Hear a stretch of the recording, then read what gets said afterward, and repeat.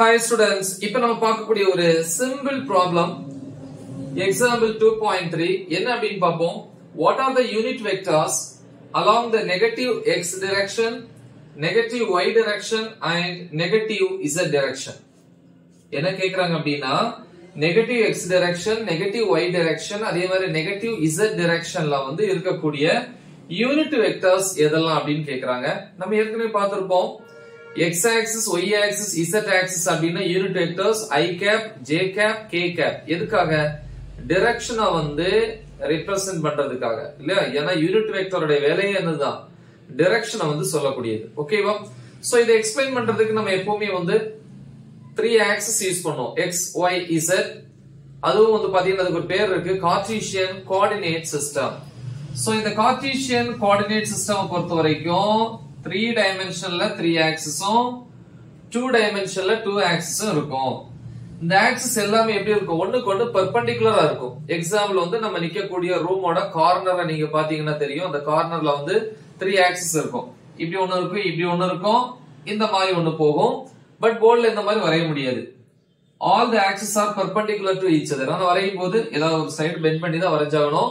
So இப்போ எல்லா ஆக்சிஸுமே perpendicular ஓகேவா அதுவும் பிசிக்ஸ்ல வந்து பாத்தீங்கன்னா ஆக்சிஸ் எல்லாமே நம்ம எப்படி எடுத்துப்போம் அப்படின்னா ஆன்டி கிளாக் வைஸ் டைரக்ஷன்ல சோ அதனால இது எக்ஸ் இது ஒய் இது இசட் இது எல்லாமே பாசிட்டிவ் ஆக்சிஸ் அதனால இது பாசிட்டிவ் எக்ஸ் ஆக்சிஸ் அப்படின்னா unit vector I cap plus I cap Y ஆக்சிஸ்னா plus J cap Z ஆக்சிஸ்னா பிளஸ் கே கேப் இனி நெகட்டிவ் டைரக்ஷன் பார்ப்போம். இது பாசிட்டிவ் எக்ஸ் இருக்கு இந்த பக்கம் இப்படி ஒரு ஆக்சிஸ் கண்டிப்பா இருக்கணும். சோ இது வந்து நெகட்டிவ் எக்ஸ் ஆக்சிஸ் அப்ப டைரக்ஷன் இதுக்கு ஆப்போசிட் அப்ப இது ஐ கேப் இதுக்கு ஆப்போசிட் அப்படின்னா மைனஸ் ஐ கேப் கரெக்டா அதே மாதிரி இது ஒய் ஆக்சிஸ் பாசிட்டிவ் இந்த பக்கம் நெகட்டிவ் ஒய் ஆக்சிஸ் சோ இந்த மாதிரி இருக்கும்.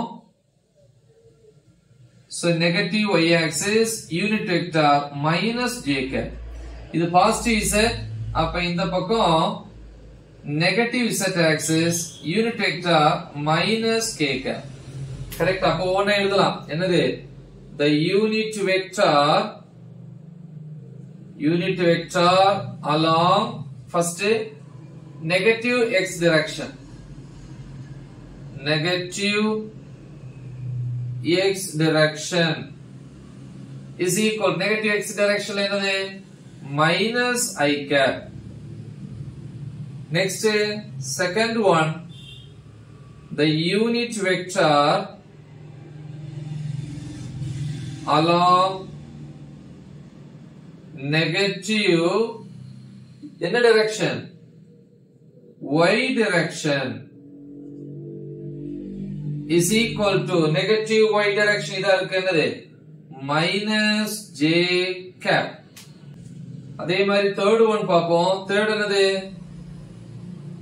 the unit vector along இது வழியா negative z direction is equal to negative இது positive z அதனால plus k cap negative z இந்த இருக்கு minus z அதனால unit vector minus k cap so very simple so நல்லா தெளிவா பிராக்டிஸ் பண்ணுங்க மறக்காம இதை உங்க ஃப்ரெண்ட்ஸ்க்கு ஷேர் பண்ணுங்க all the best thank you